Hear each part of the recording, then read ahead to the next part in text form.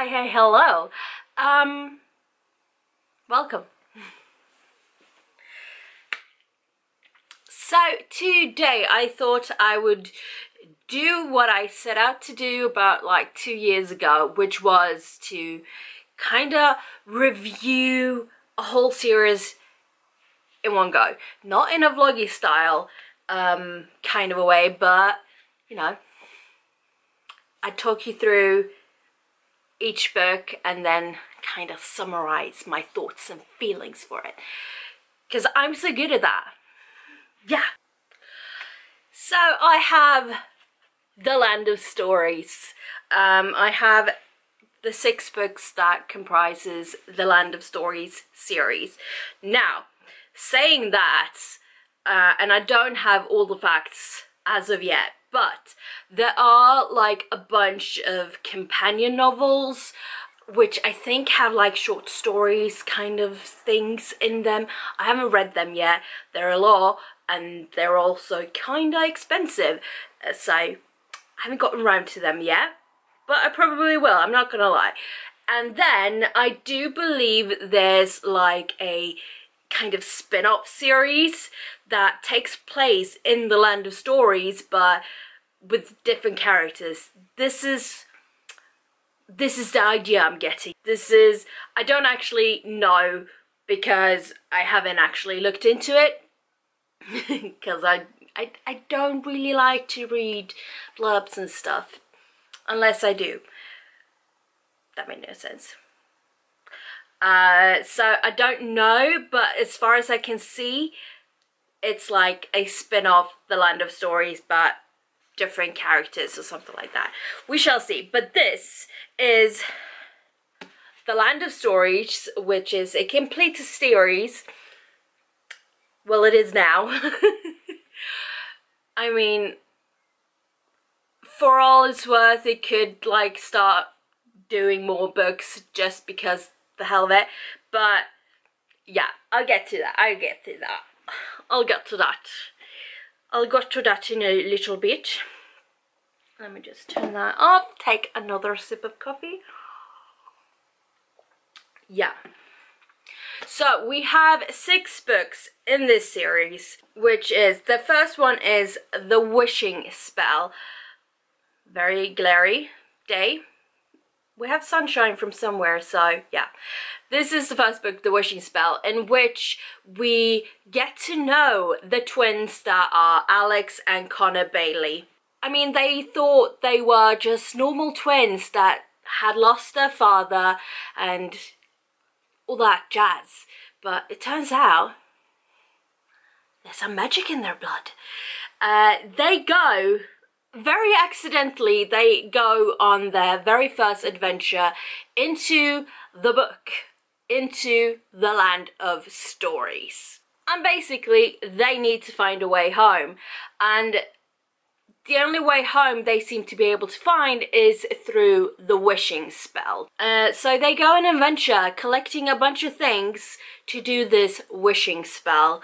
Um, and that's basically book one.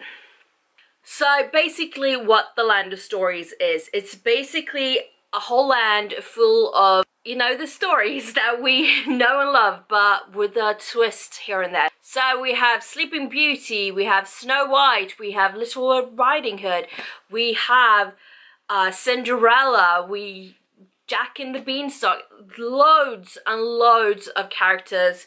Um, some you meet in the beginning, some you meet along the way and you get you know get to know. And the characters are so different.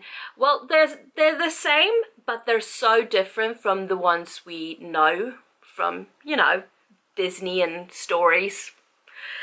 And then we move on to blah, blah, blah, blah, blah, blah. and then we move on to book number two and it is the enchantress returns. The these guys wow so in this book, the enchantress that cast Sleeping Beauty is back with a revenge. So yeah, basically it's up to Connor and Alex to stop her. Why them, you ask? Good question.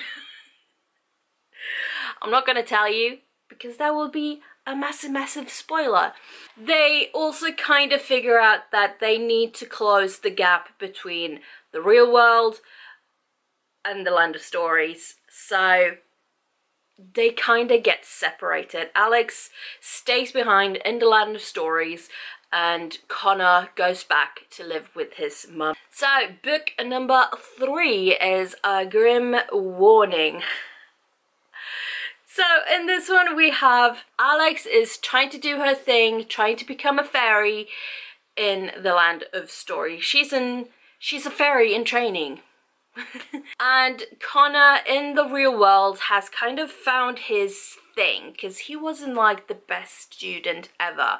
But he's found his thing in writing stories. Through his school him and a couple of other students get the opportunity to go to Germany to basically visit the grave of the Grimms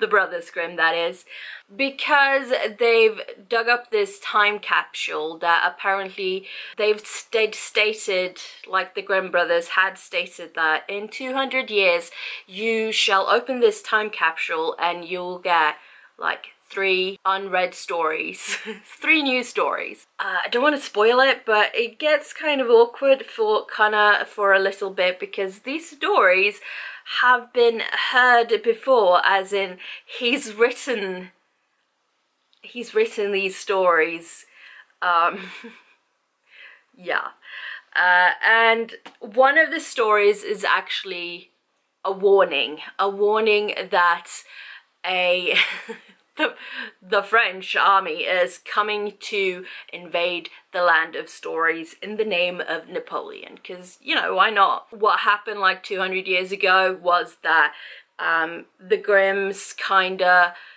tricked this army into going through a portal but this portal would take them 200 years to get to their destination and this was kind of a thing so they'd you know, prepare for war. But some people forgot about this whole thing. So there's that. So basically now Connor has to get his sister's attention so that he can warn her. But um, she's hard to contact, even though they have this magic mirror, which is kind of like FaceTiming. But yeah, she's she's a busy little gal. She's uh yeah, so adventures happen and war, you know, because why not? And then in book number four, we have Beyond the Kingdoms, in which, get this, Alex and Connor's long lost uncle, who we meet in uh, the previous book, but I'm not gonna say anything more specifically than that. So he's trying to gather his own army and the way he's going about it is he's going through other well-known stories like The Wizard of Oz, uh, Robin Hood and stuff like that. Because, you know, why not? And of course, Alex and Connor and the rest of the gang has to stop this dude. Uh, so yeah, so maybe you can see the Tin Man on the cover. Oh yeah, Alice in Wonderland as well, I forgot about that. Oopsie. Um, yeah, so they kind of go through the stories after him trying to stop whatever he's doing. Spoilery, um, they don't actually succeed very well. They don't stop him. Not yet, at least. So we're moving on to book number five, which is An Author's Odyssey. Previously, their uncle had been collecting, you know, war criminals. no, he's been trying to collect an army. And Connor kind of has this idea that, well, you know what? Let's do the same thing, but let's go into my stories and collect my heroes to help stop this madness because the uncle kinda mm, well he kinda made deals with some of the other villains and they don't just want to take over the land of stories they want to take over the other world, which is the real world for us. So now they are gathering their heroes. The thing though with his stories is that his story is, is based on you know, his friends, so some characters will look the same. This would be hilarious to watch as a movie. I'm not gonna lie, because there'd be so many familiar faces being like, I recognize you from somewhere.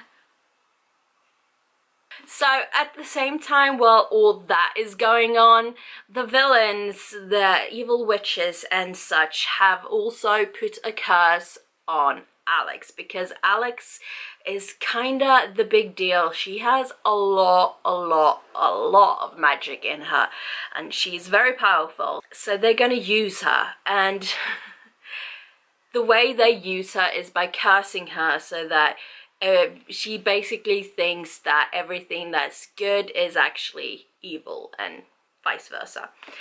So they are using her as a puppet to take over the other world, which we don't like. We don't want that, do we? No. So moving on to book number six, which is Worlds Collide. So in this one, there's a big show off. Yeah. There's a big thing. But will it will it stop or not? So this book actually starts off way in the future when Connor is 80 years old and he's like in this was a bookshop? He's in a bookshop i believe it was having this like reading and signing for his like anniversary of his books because he apparently became this very well-known author. Wow and wrote all these books, some of which were called Land of Stories, among other things. Hmm, Chris Colfer, are you, um, have you written yourself in as Connor, perhaps? I wonder. While at this reading signing thing, one of the kids asks him, whatever happened to your sister? Because she kind of just disappeared. So, rewinding back to the present day, we kind of start where we left off in the previous book. So Connor is trying to help Alex. He's trying to save her because yeah, he doesn't want to kill his sister, does he? But at the same time, Alex is, you know, kind of dream walking because it's the only time she has some power that's her. Like, she's herself. And so she's kind of dream walking and giving like hints that Connor, you need to kill me or I'm gonna destroy everything. So yeah, we're like kinda left in the middle of things. It's really one of those, does Alex die or does she, like what happens to Alex? Yeah, what happens to Alex? Do they save the world? They obviously save the world in some form because Connor is 80 in the beginning, but like how do they save the world? That is the big question yeah. I had such a good time reading these books that honestly, so the beginning of the first one, it was like the first two chapters I feel it was. They were, they weren't badly written, but they were kinda not written in the best way. It were kinda, well, let's just say they were, it wasn't great. so I was a bit like, oof, is this gonna be what the whole series is? No, it actually changes. It's like someone wrote the first two chapters and then just changed personality. I don't know. Um, or like learn how to write. I'm sorry, Chris Colfer. I don't mean to be rude, but there you go. Not that you're gonna watch this, but you know. I had the best time. They're such an easy read. Okay, yeah, they're middle grade books. Middle grade, but virgin on YA, but middle grade. Uh, so yeah, they should be very easy to read, but not all middle grade books are easy to read. Some are hella boring and just, what even is this trash? These were so good. They're like action packed, they're funny. So if you like fairy tales retellings, definitely pick these up. And you know just pick them up anyway because yeah.